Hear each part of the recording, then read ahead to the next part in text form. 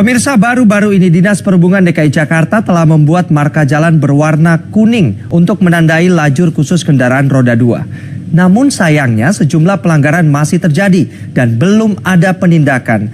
Pemberian sanksi baru diberikan pada 5 Februari mendatang. Sejak Pemprov DKI Jakarta akhirnya membuka jalan MH Tamrin sampai dengan jalan Medan Merdeka Barat bagi para pengguna kendaraan roda 2, ternyata kebijakan tersebut masih belum berdampak secara signifikan.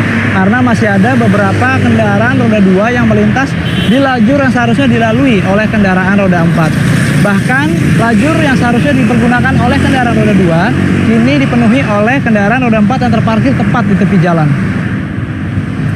Inilah pemandangan di sepanjang Jalan Medan Merdeka Barat, terutama di depan Kementerian Pertahanan dan Kementerian Pemberdayaan Perempuan. Sejumlah kendaraan roda 4 terlihat masa bodoh parkir di lajur khusus kendaraan roda 2. Akibatnya pengendara motor pun terpaksa menggunakan lajur lainnya untuk bisa melintas. Sejumlah pengendara motor pun mengeluh. Alih fungsi lajur kendaraan roda 2 seperti ini membuat mereka tidak nyaman dan terpaksa melanggar aturan. Nah tapi kalau adanya begini nih, ya, satu nggak enak buat dilihat juga kali pak ya. Dua pasti ngeganggu lah buat masyarakat juga, buat pengguna, khususnya buat pengguna jalannya ini. Kita kan harus jalan di kiri nih, tapi sedangkan di kiri dipakai untuk parkiran. Nanti kalau kita di kanan kita salah, karena kan aturannya memang motor di kiri.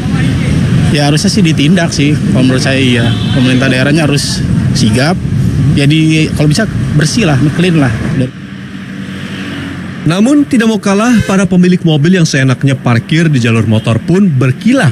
Mereka tidak pernah mendapatkan sosialisasi tentang jalur motor, sehingga tanpa rasa bersalah, mereka pun memilih parkir di lajur khusus kendaraan roda 2. Mau nge-WA temen dulu. Oh gitu nunggu, Iya. nggak apa-apa ya? Nggak, bukannya mau nunggu, nah, setelah nulis saya udah jalan. Oh jalan, Kalau nulis sam- sambil jalan nggak mungkin nggak bisa nulis kan. Belum tahu juga, oke. belum tahu. Oh belum tahu ya, ya. Lokasi lain pemandangan serupa juga terlihat. Di kawasan MH Tamrin, marka khusus kendaraan roda 2 juga belum digunakan maksimal.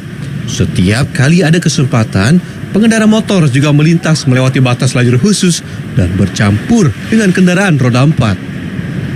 Aparat kepolisian mengaku belum menindak para pelanggar karena sosialisasi baru akan dilaksanakan tanggal 29 Januari hingga tanggal 3 Februari 2018 mendatang.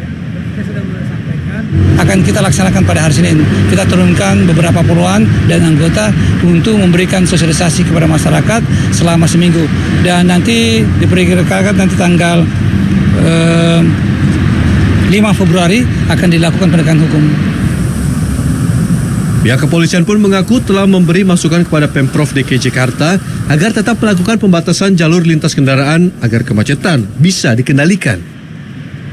Makanya saya sarankan kepada pemerintah daerah supaya dibatasi juga dengan ganjil genap, perlu dievaluasi.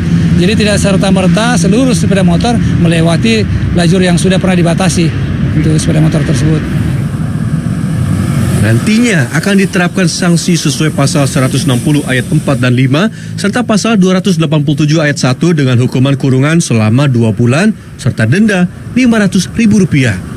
Untuk menekan pelanggaran dan memudahkan penindakan, Ditlantas Polda Metro Jaya juga akan berkoordinasi dengan Dinas Perhubungan sehingga proses pencabutan peraturan Gubernur nomor 141 tahun 2015 tentang pembatasan lalu lintas sepeda motor bisa berjalan dengan tepat. Gibson Ramos, Arif Hermanto, Jakarta.